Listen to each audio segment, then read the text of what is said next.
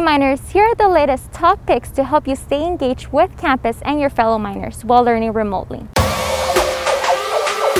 Get involved. Join or register student organization. Check out what's available on MineTracker to learn about the student organizations and their upcoming events.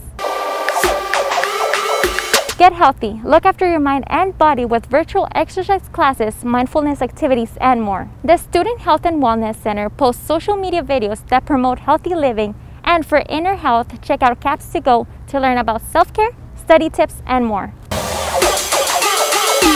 Invest in yourself. Work on personal and professional development remotely by using the Career Center personalized feedback on your resume and mock interviews. The Student Engagement and Leadership Center has virtual workshops and lectures to help you become inclusive leader. Visit Campus Edge MineTracker or SELC page to learn more.